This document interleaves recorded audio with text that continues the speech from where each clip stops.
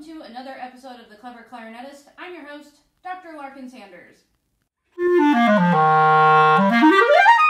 Today I'm testing out the Protege clarinets by Backun. I've been wanting to check out these clarinets for a while. They're kind of Backun's like step up, entry professional level instrument, um, but they're really beautiful. They all have silver plated keys, or at least the ones I have in my shop have silver plated keys. Some of them come with this extra um, 18th key, which coincidentally the two I have in my hand do not, but I have another one in here that does have the 18th key, and I have several more as well. You can also see just by looking at these two samples that I've got a Cocobolo version and a Grenadilla version. I have I'm going to be trying two Grenadilla versions against this one Cocobolo version just for funsies. And as always, I will be starting with my control, which is my personal instrument. My personal B-flat clarinet is still a Selmer Paris Présence clarinet. We're going to do it in B-flat. I've got a barrel by Brian Corbin, and I'm playing a mouthpiece that's fairly new by Behn. It's an Epic with a medium opening. I'll also be playing on D'Addario Reserve Classic reeds, and I have a Silverstein Hexa ligature in rose gold. So let's hear some introductory sounds on my own personal instrument. I'm going to do an F major scale slurred, an F major scale tongued, and then I'm going to play an excerpt from the opening of Brahms's Clarinet Sonata, Opus 120, number 2, in E flat major.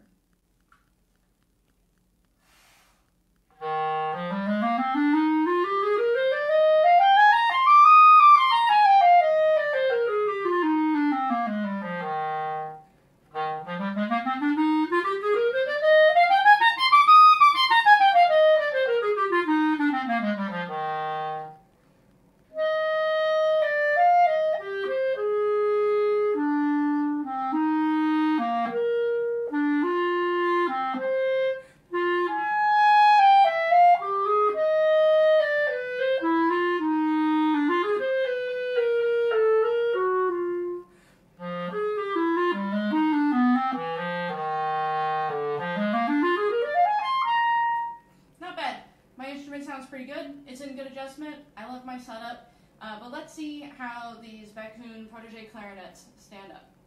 Okay, so the first Backun Protege I have to try is the standard Backun Protege in Grenadilla wood with silver plated keys without the 18th key. So not having the 18th key will shave a little bit of money off of the price, and some people prefer to have it and some people don't. I actually typically prefer not to have the 18th key. I definitely have a spare E flat, A flat lever on my bass clarinet and my E flat clarinet, but that's just because that's kind of how they come. I do use it on the bass clarinet, but that's because of all the wacky thumb and pinky key combinations that you encounter when you play a low C bass clarinet. That does not necessarily apply to a B flat clarinet, so it is not a must have mechanism. All right, let's see how it sounds.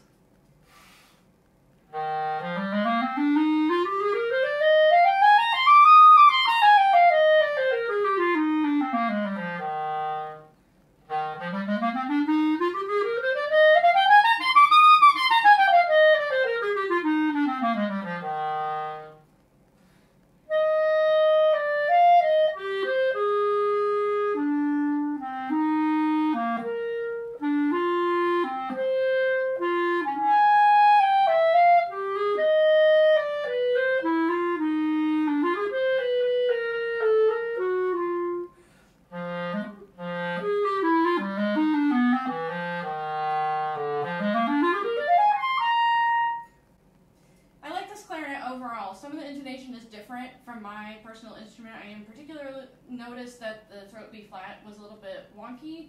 Honestly, my throat B flat is probably a little bit wonky, and I'm probably just used to hearing it sharp at this point.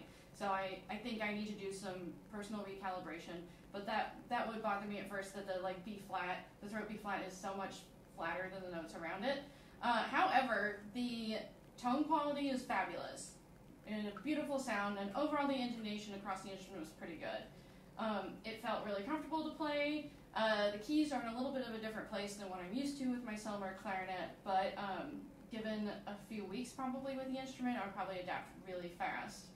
Um, the mechanisms are working beautifully, and this clarinet is basically right out of the box, so that really bodes well for all of Backun's protege clarinets. Let's go on to the Grenadilla protege clarinet with the 18th key.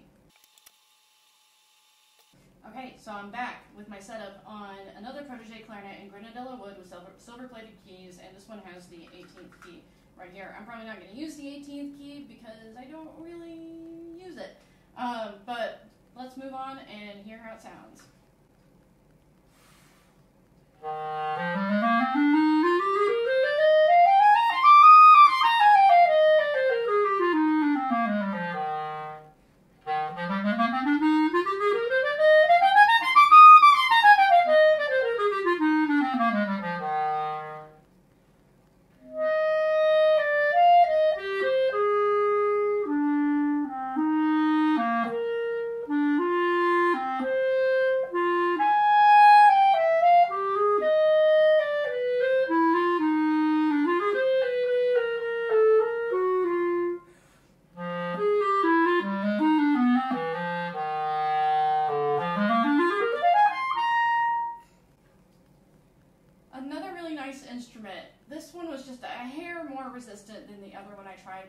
It felt very similar, and I thought I was producing just as nice of a tone as I was with the previous instrument. That bodes really well for the entire line of protege clarinets, and that it shows that Backun's manufacturing has been quite consistent, at least when with the production of the protege clarinet. Um, this 18th key is a little bit hard to reach.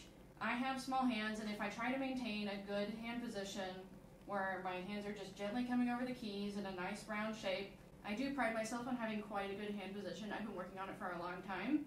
Um, so this this 18th key, as you can see, I have to straighten my pinky out completely to even reach it if I maintain a good hand position. If I tilt my hand down a little bit, yeah, I can get it, but then that, that prevents me from doing all the other stuff that we should fundamentally be able to do as clarinet players. So if I were on the hunt for a clarinet that I liked that also had the 18th key, I don't know that this would be a front runner. I think the Selmers have an 18th key that's much easier to reach. If I look at this Muse, and I know that Muse and Protege shouldn't even be compared, but they're right here, so it's easy. You can see how much farther down or farther away this 18th key is than the Muse's 18th key. Um, that would concern me as someone who I, I feel like as the, the customer base for the protege clarinet, just because it's not usually going to be like super professional clarinetists going after this. It's going to be younger people with who are learning how to use good hand position while playing the clarinet. But on the other hand, the 18th key is typically used in an emergency scenario, so it would probably do just fine for anyone who is looking to purchase this instrument. Let's try the Cocobolo version. Okay, and this is the last clarinet I'm going to try for you today. This is the Protege in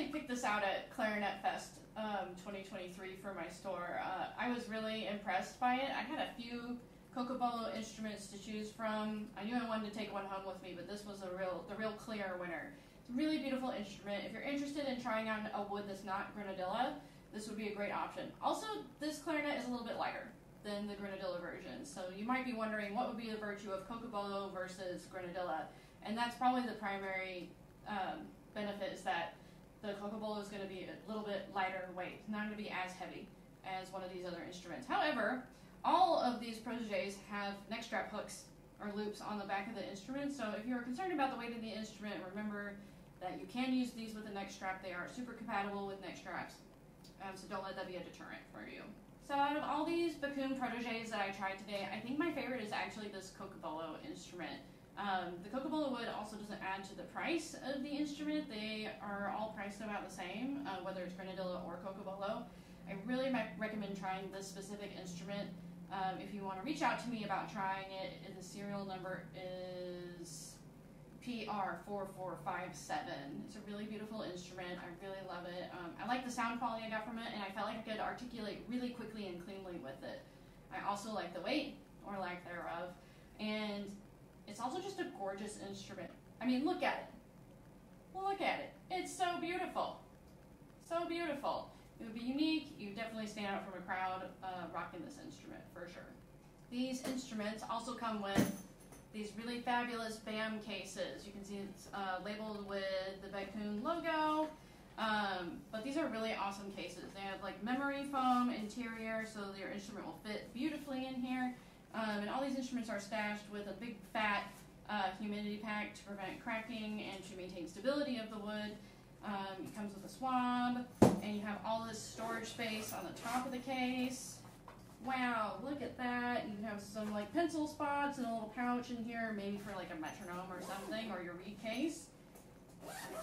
And um, it comes with backpack straps. You can see they're tucked away back here, so you can wear this case as a backpack. Um, doesn't look like it comes with shoulder straps, so if you wanted to have a shoulder strap instead of backpack straps, you'd have to do a little bit of rigging yourself. But I prefer to carry my clarinets on my back. Keeps these free arms free and ready to do stuff. So I really like this case. I think it's really fabulous, especially if you are not used to carrying like a double case or if you don't already have a case that you love. If you buy one of these Protege clarinets, it will come with a fabulous case. Thanks so much for watching. I hope you enjoyed this demonstration of the Backun Protege clarinets. Um, I'm happy to talk to you if you're interested in purchasing the instruments. You can find a link in my description about how you can buy them from me or how to set up a trial from me to get your very own Backun Protege or one of these other fabulous clarinets you see behind me. They're all for sale. Also, be sure to visit my website to check out the many services I offer, including equipment trials, private lessons, special events, and all kinds of cool stuff. Plus, you can get this cool dress that I'm wearing. I designed it myself, and yes, you can buy it at cleverclarinetist.com. Thanks so much for watching, and I'll see you next time.